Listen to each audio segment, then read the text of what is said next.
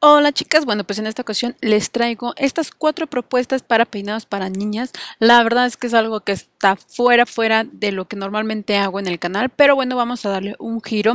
Voy a ocupar cuatro, cuatro propuestas, dos, dos son con pasador, perdón, y dos son con ligas. Eh, la verdad es que eh, son productos mexicanos, son productos que los tienes a cualquier alcance y sobre todo son súper, súper accesibles. Y bueno, esperando que les guste, les dejo los materiales que voy a estar ocupando.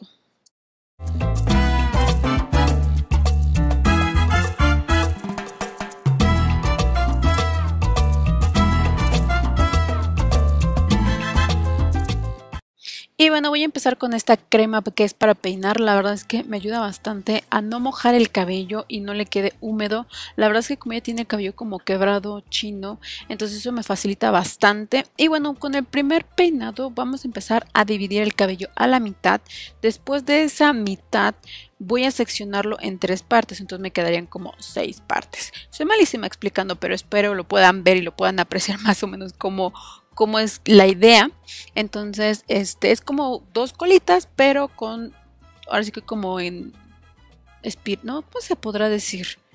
Como en hilerita. Bueno, voy a ocupar estas liguitas de AND que la verdad es que me gustan bastante. Son súper de colores, entonces la verdad es que no le lastima el cabello, no le aprietan. Yo normalmente le doy tres vueltas y le queda flojita, como flojita apretadita, pero no que se le salen todos los pelitos, ¿no? Entonces yo lo hago así como chinito para que no se vaya despelucando el cabellito y no me cueste más otra vez tenga que volver a peinarlos. Entonces bueno, pues lo voy a hacer en tres partes. Esta es mi segunda parte que voy a, dividir el cabello. Voy a utilizar también un aceitito, me voy a estar ayudando con el aceitito también este de Fructis. La verdad es que también este me encanta, huele súper rico, te aplaca muy bien los cabellitos, eh, no te deja el cabello grasoso, no te deja el cabello súper pesado, es súper, súper livianito. La verdad es que esto yo lo recomiendo y sobre todo más para, para ella que por ejemplo tiene mucho mucho pelito entonces a lo mejor y no le queda súper este como, como si le echaras spray no pero la verdad es que me ayuda como a calmar esos pelitos entonces voy a agarrar la primera eh, colita que hice y la voy a unir con la segunda como haciendo hilerita este, entonces bueno, voy a poner una liguita igual. Les digo, normalmente hago como dos liguitas de diferentes colores para que se vea como más, más armonioso o un poquito menos armonioso, ¿verdad? Entonces, bueno, pues voy a seguirle con eh, la siguiente colita. De hecho, ahí se me hizo como un volcancito, pero ahorita les voy a decir un tip para que quitemos o contrarrestemos estos volcancitos y no queremos volver a empezar a peinarlas. Entonces, bueno, pues vamos a agarrar mi última sección. E igual, de igual manera, ya me eché aceitito como para este, recoger todos sus pelitos que me quedan. Entonces, bueno, pues lo voy a amarrar con mi última liga. Entonces, bueno, ese es el primer peinado Espero este, que les guste estas propuestas que les traigo. La verdad es que me encantan a mí cuando, cuando la peino, porque casi ya no se deja peinar como una niña de verdad. Entonces, bueno, vean, ahí me quedó como un poquito descuadrada ya viéndolo bien. Vean, aquí les voy a dar este tip súper, súper recomendable. Voy a agarrar estos em, pasadores de AND también, que son súper, súper accesibles. Voy a, a enterrarlo escondiendo esa parte que se me salió o que como que se, como tiene cabello muy chiquito, entonces se me sale. Entonces, vean, quedó como nuevo, como si no tuviéramos pelito. Les voy a dar otro consejo de cómo retirar las ligas y vean, yo estoy ocupando este peine y la verdad es que no le cuesta nada, no la jalo, no le quito cabello, entonces eso me encanta este tip. Y bueno, pues vámonos con el siguiente, con el siguiente peinado. También me voy a volver a ocupar, me voy a apoyar, perdón, de este aceitito.